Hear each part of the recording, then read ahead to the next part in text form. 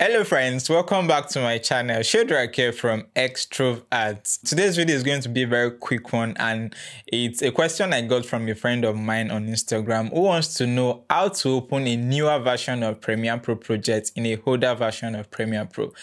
Let's say, for example, you currently use a 2019 or a 2020 or even a 2021 Premiere Pro and you want to open a project which was initially worked on on a newer version of Premiere Pro like the 2023 or the 2022 Premiere Pro. When you try to do that, you are going to get this error message which can be very frustrating panic no more because in this video i'm going to show you how you can easily open a newer version of premiere pro project in your older version of premiere pro without any form of hassle. With that being said, let's jump straight to the editing suite so I can show you guys. As you can see, I'm currently working on this project in Adobe Premiere Pro 2023. I'm going to save it now and open it in Adobe Premiere Pro 2022. Let's see what's going to happen. Okay, like so. Whoa, you see that? So this is the error message you're going to get which says this project was saved in a newer version of Adobe Premiere Pro and cannot be opened in this version. Okay, don't panic.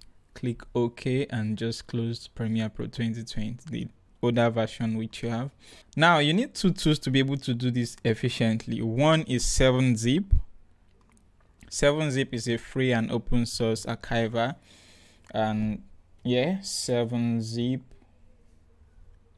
okay just go straight to the website and make sure you are downloading the latest version of 7zip if you use windows make sure you are downloading that for windows and if you use mac os make sure you are downloading the latest version for mac os i have it installed already so i'm not going to do that anymore. And the second tool you need to run this efficiently is notepad. Plus plus okay notepad plus plus like so search for it go straight to the website and make sure you are also downloading the latest version of notepad. Plus plus they are all free so that's a plus for you okay so now once you have both of them downloaded and installed the next thing you want to do is to go to the folder where you have your project saved now the next thing you want to do is to right click and extract the Premiere Pro project like so. And um, I'm just going to extract it using 7-zip, extract to like so. So you are going to have this folder, open it up and um, you are going to see this file like this. Just right click and edit with notepad once that open up just go straight to the fourth line where you see object id class id and um, version. So are, this is what we need to just edit. Now adobe premiere pro 2023 is version 41 so logically all you need to do is to just reduce the number to the year you are currently using. So okay let's say you currently use Adobe Premiere Pro 2022, you just change the 41, you just switch the number to 41. And if you use 2021, it's 39. If you use 2020, it's 38. And if mm. you use Adobe Premiere Pro 2019, change it to 37. So it's as simple as that. Because I need to open this in Adobe Premiere Pro 2022, I'm just going to change it from 41 to 40.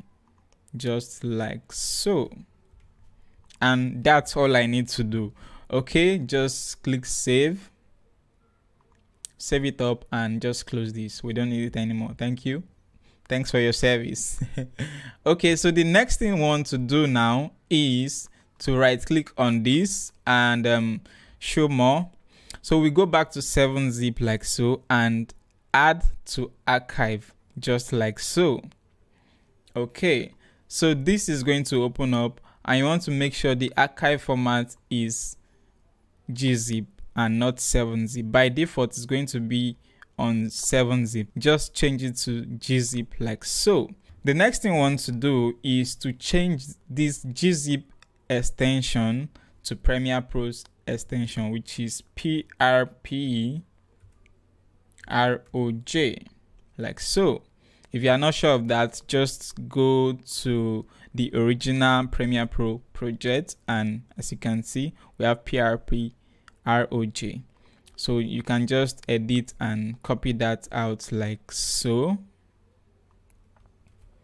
and um, paste it right here.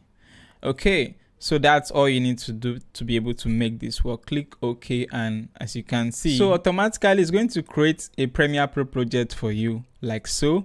So let me just open this up in my Adobe Premiere Pro 2022 and see what's going to happen. Voila! You see, as simple as that. As you can see, it's already opened in Adobe Premiere Pro 2022. I still have my Premiere Pro 2023 open same project as you can see so that is how you can easily open a newer version of Premiere Pro project in your older version of Premiere Pro. You can see how easy that is. If you find this video helpful and interesting, please give it a thumbs up. Don't hesitate to let me know in the comment section if you've got any question or any challenges in the course of this. Be sure to follow me on Instagram and, you know, you can always, I mean, anytime send me a DM and I'll be glad to assist. I'll see you guys in my next video. Graced.